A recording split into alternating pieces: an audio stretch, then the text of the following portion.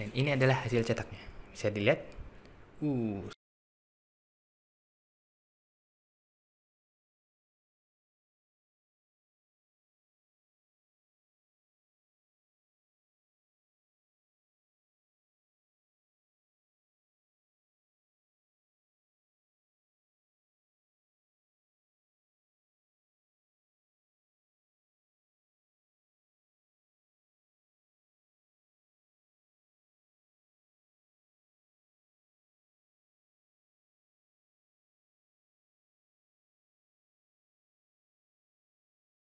Sobat Barcode Official Store dan kali ini kita mau review G Printer GP1224T.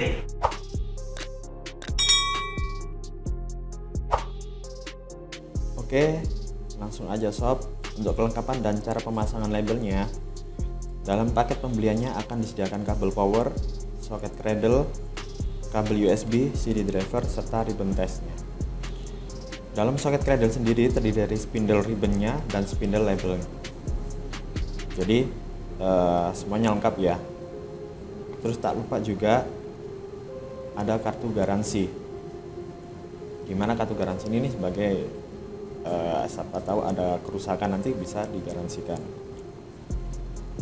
Tak lupa juga ada adaptornya, lalu label untuk testingnya. Selanjutnya untuk pemasangan labelnya, untuk label yang thermal bisa langsung cuma dipasang di cradle atau spindle untuk labelnya saja. Jadi yang warna biru itu spindle untuk label. Selanjutnya warna hitam itu spindle untuk ribbonnya. Kalau saya pakai yang label thermal jadi nggak usah dipasang ribbonnya, hanya labelnya saja. Oke, itu tadi untuk cara pemasangan dan unboxing kelengkapan dari GP1224T. Halo Sobat Barcode Store, kali ini kita masuk ke tahap instalasi printer barcode di printer GP1224T.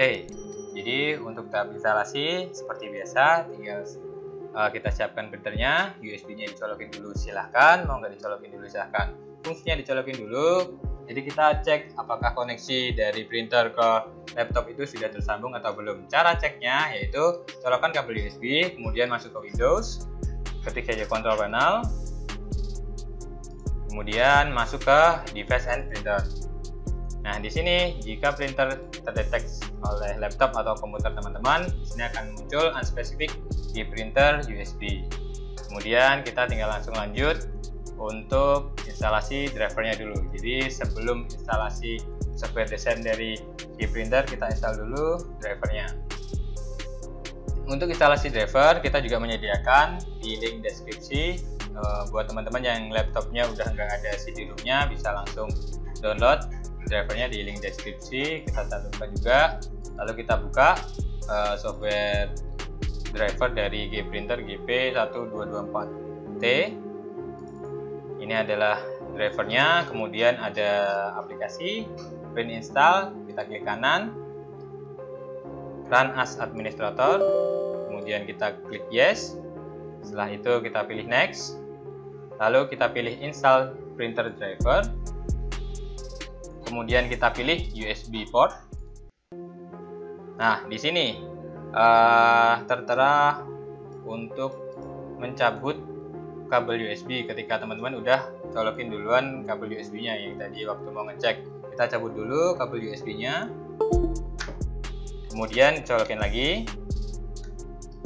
Nah, di sini langsung akan terdetek Gprinter GP128T kemudian klik aja langsung install atau kita bisa centang juga I want to use this printer as Windows default printer. Install.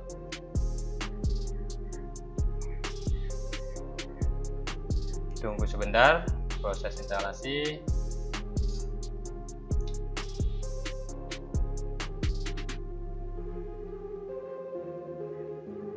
Oke, di sini sudah tercantum install printer sukses. Oke, exit. Buat cek apakah driver sudah terinstall dengan baik, seperti tadi, klik Windows, Control Panel, lalu device and printer, dan di sini sudah tercantum G-Printer GP1224T. Jadi untuk instalasi driver sudah sukses, sudah berhasil. Tinggal selanjutnya kita masuk ke tahap instalasi uh, software desain dari G-Printer.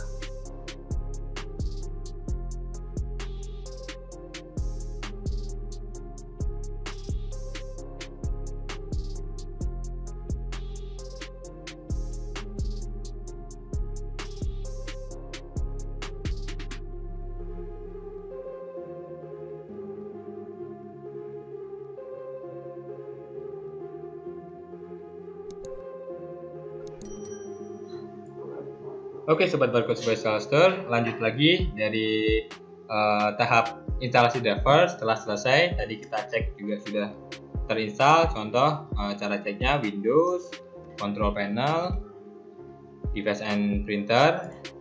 Kalau sudah masuk di sini, sudah masuk dalam komplotan printer ini, sudah kelihatan G printer GP1224, berarti ini printer sudah siap untuk digunakan dan driver sudah berhasil diinstal. Lalu kita masuk ke tahap instalasi software desain dari Keyprinter. Nama software desainnya sama juga ada di deskripsi untuk link downloadnya Label Shop for Keyprinter 5.11. Oke, di sini langsung kita label shop aplikasi boleh di klik kanan as administrator. Oke, kita klik yes. Kita klik accept. Continue. Continue. Continue.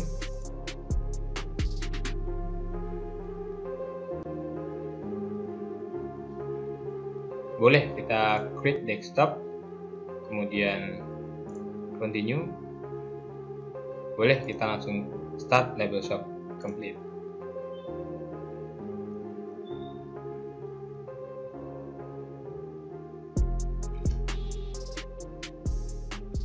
dan ini adalah tampilan dari label shop for G printer. Jadi teman-teman buat kalau mau buat label uh, pakai software desain dari G printer manual menggunakan ini label shop for G printer. Jadi di desktop ini juga tadi udah kelihatan label shop.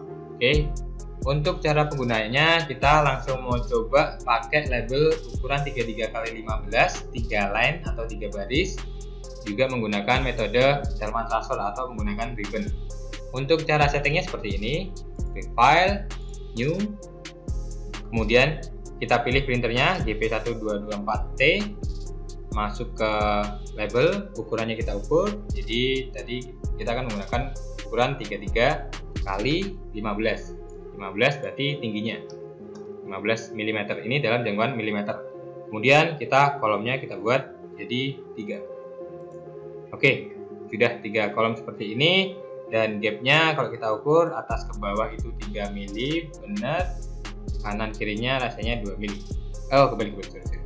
ininya 2 mili ininya 3 mili. Oke langsung kemudian kita gaji di sini. Lalu kita buat uh, desainnya. Di sini ada uh, fungsi-fungsinya untuk buat barcode. Mau barcode satu dimensi atau dua dimensi ada di sini tinggal diklik terus kemudian klik lagi di uh, ruang tengah bagian putih seperti ini. Kita tengahkan dulu. Oke ini kita klik dua kali bisa. Contoh mau datanya berapa? Oh, kita kasih nomor telepon sales kita aja dulu. Yang 81 21 69 69 78 Oke, buat teman-teman yang mau hubungin sales barcode Pixelser, ini ada nomornya. Kita bisa juga pilih di sini tipe barcode-nya. Biasanya untuk uh, yang bisa angka dan huruf itu biasanya pakai kode 128 di sini juga bisa ada pilihan mau pakai QR code juga bisa. Jadi tergantung teman-teman butuhnya apa. Biasanya sih kalau dari barcode visualizer pakainya kode 128 terus fontnya juga kita bisa ganti juga. Pakai font contoh ya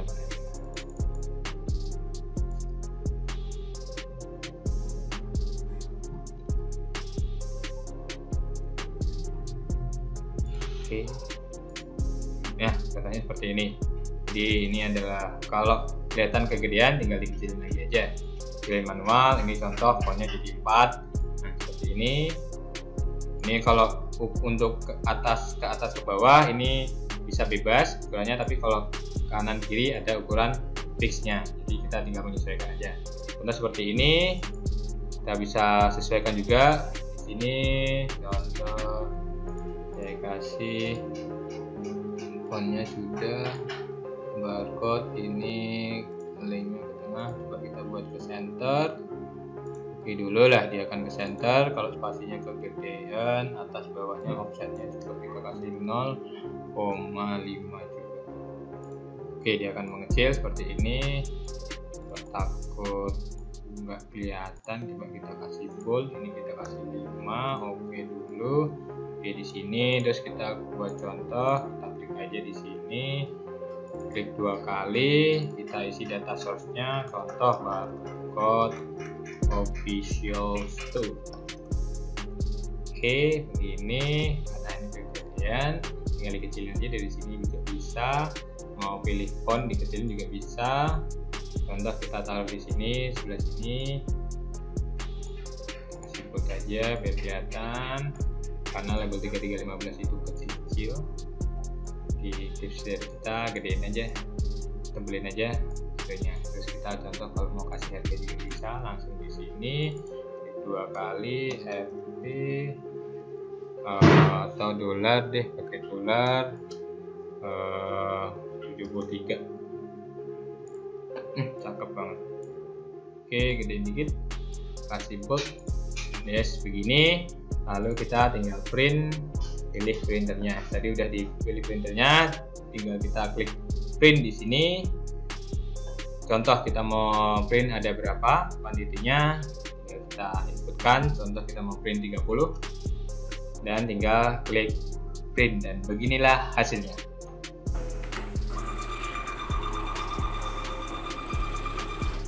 Uh, mantap secepat ini 6 inch per second. Dan ini adalah hasil cetaknya. Bisa dilihat. Uh, tajam terpercaya.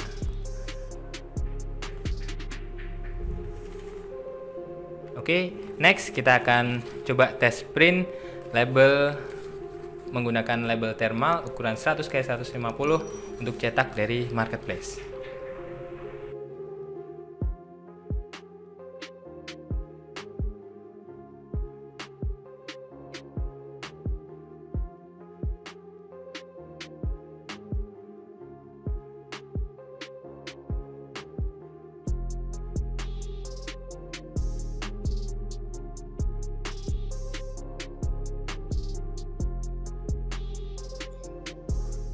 Halo guys, setelah tadi kita cetak uh, menggunakan label 3 line dengan bahan semicode dengan metode cetak menggunakan ribbon, sekarang kita mau praktekin gimana caranya printer di printer 1244T ini cetak menggunakan label thermal. Yang pertama, kalau label thermal berarti kita tidak perlu lagi menggunakan ribbon karena dari jenis bahan labelnya aja sudah thermal.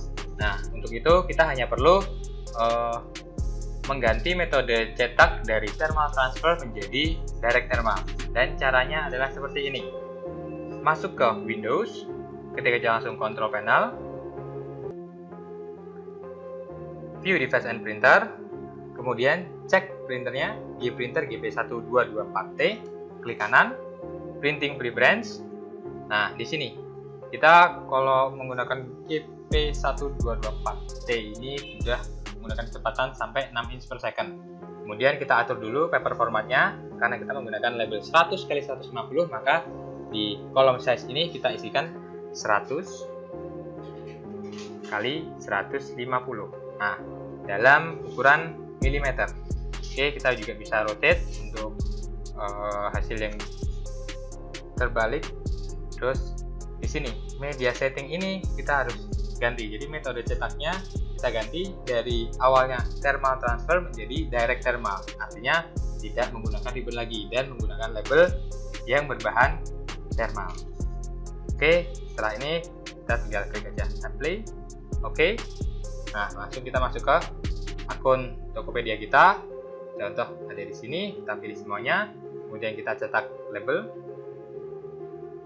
Nah, di sini kita langsung tinggal print aja dan uh, pilih printernya jangan lupa.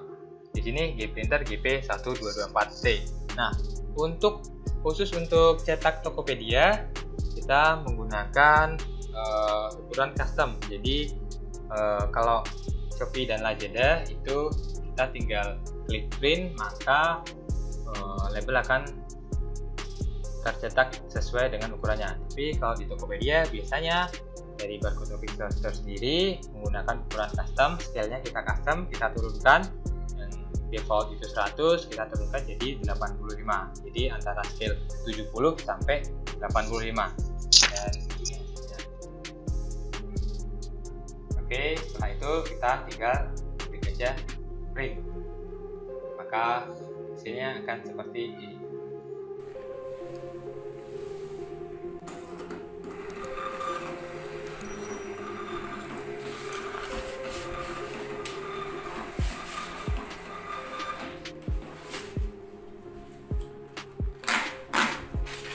Ini adalah hasil print dari G Printer GP1224 dari hasil cetak label shipping Tokopedia menggunakan label thermal. Oke, sangat jelas terlihat. Jadi teman-teman bisa lihat sendiri, barcode-nya kelihatan, namanya juga kelihatan.